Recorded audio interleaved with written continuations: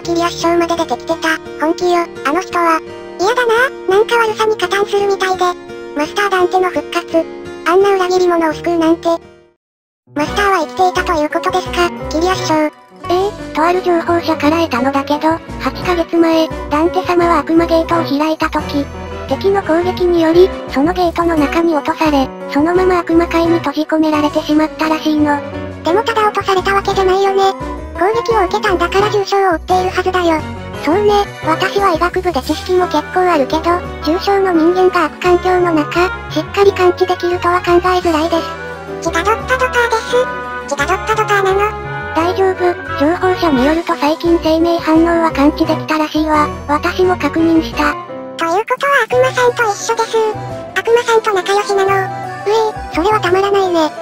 それでダンテ様を救出するためには崩壊という世界にある、悪魔界の境界を開く扉を開けないといけない。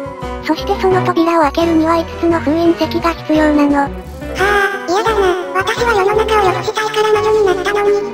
悪事に手を染めるために魔女になったわけじゃないよ。また物騒な話か。いやね。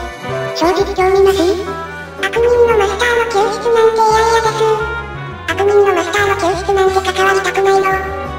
出生とか言い出した時点で嫌な予感はしてたけど、それはどこにあるのですか？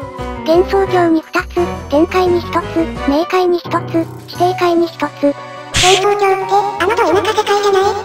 冥界のお化け屋敷の世界そのものだし、地底界なんてもってのほか。天界なんて空だよ。私高所恐怖症だから無理だし、嫌だなそれで私も皆さんにご迷惑をおかけしたくなかったのですが。あ、キル結晶に戻ったわね。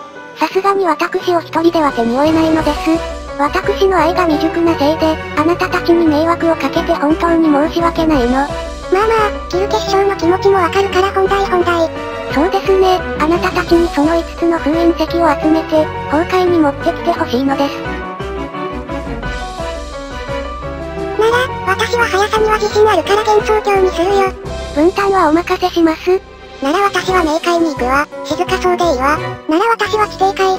テーマパークみたいで楽しそう。なら私は天界かな。空気が澄んでて居心地良さそう。じゃあ、デクテイとプリーは私と一緒に幻想郷で探そうか。わかったねよ。決まりましたね。私は悪魔界の境界の扉を一足先に崩壊に行って探しておきます。各自、封印石を見つけ次第、崩壊行きの精錬船に乗って崩壊に来てちょうだい。それじゃあ明日は大変だけど、頑張って乗り切りましょう。そうだね、みんな怪我しなきゃいいんだけど。さて、そればかりはわからないわ。状況が状況、封印石で解こうとしているのだから間違いなくとんでもないことに首を突っ込んでいるでしょうね。嫌だな。本当。パラは断ってもよかったんだよ。うーん、みんなが心配だから一緒に行くよ。幻想郷なんて何が起こるかわからないし。本当、優しいのね、パラは。それじゃあ明日も早いし、帰るわね。おやすみなさい。さて、私も寮に帰ろう。あれ、パラ先輩だあら、ロカちゃん、今日は珍しく東京にいるのね。うん、ことか生徒会長と話してたら遅くなっちゃった。寮って新生女学院生徒会の集会じゃなかったよね。そうみたいだね。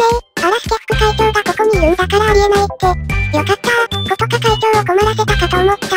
今から寮に帰るんですか？うん、明日用事があるから今日は早めに就寝だよ。そうなんだ、なら早く帰らないとね。ちょっとおやつがなくなったから買い足しに。遅くならないようにね。はい、それじゃあおやすみなさい。ロカちゃんも今年で中学3年生か。私も今年受験だし、気合い入れないと。早く面倒ごと終わらせよう。ダンテ様。もうすぐです。もうすぐで、あなたに。あの子たちならきっとやってくれる。あの子たちなら身を滅ぼしてでもきっと目的を達成してくれるでしょう。私はこの身をダンテ様に捧げた存在、身勝手に身を滅ぼすわけにはいかない。明日、必ず主のもとへ。到着まさか幻想郷の教会があんな場所にあると思わなかったわ。ごめんねー。まさか東京からあんなに離れてるとは思ってなくて時期によってあっちこっち変わるみたいだし、仕方ないよ。深夜に電話がかかってきた時は私も驚いた。で、でもみんなまで電車で行く必要なかったんだよ。そうしたら空がぼっちです。そうしたら空がかわいそうなの。ということね。ごめんなさい、飛んで行った方が早いんだろうけど、何分、私高所恐怖症で、知ってる知ってる。とりあえず幻想郷に着いたし、ちゃっちゃと終わらせようよ。そうだねでも幻想郷って本当何もないんだね。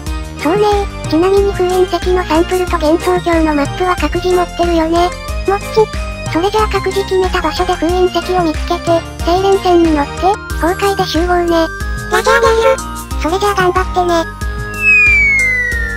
幻想郷超広いけどめげちゃダメだよ。私が一番遠いから頑張らなくちゃね。うーん、幻想郷の地図はもらったけど、二人はどこを探す？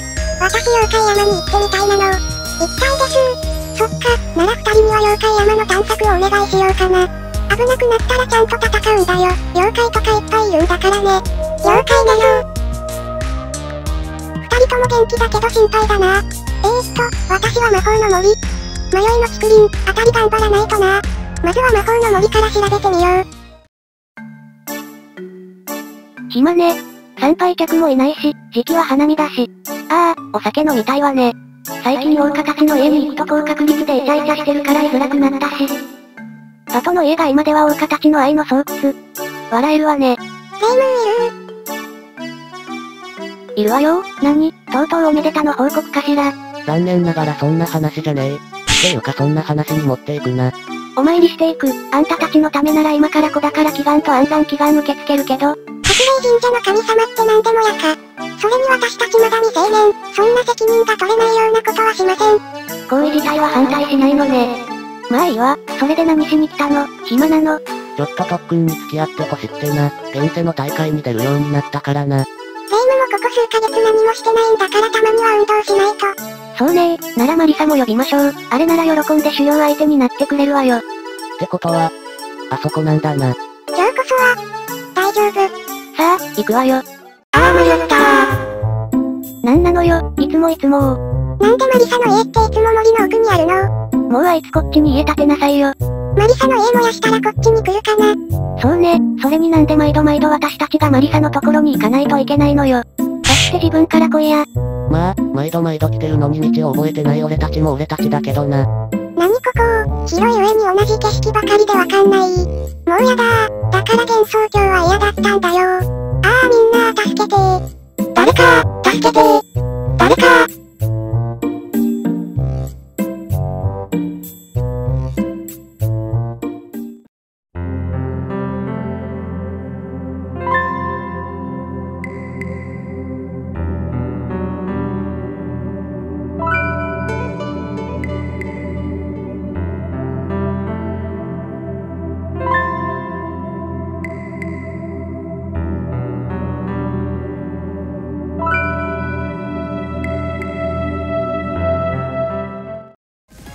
聴ありがとうございました。動画は楽しんでいただけましたか？ぜひ気に入ってくれた人はチャンネル登録よろしくね。他にも再生リストで過去の動画を見やすくまとめているので、気になった人はぜひ見ていってね。ご主人、もう皆さんとお別れの時間です。寂しいけど、次回の動画でまた会おうね。次回も私たちの動画をよろしくね。それでは次回も、楽しんでいってね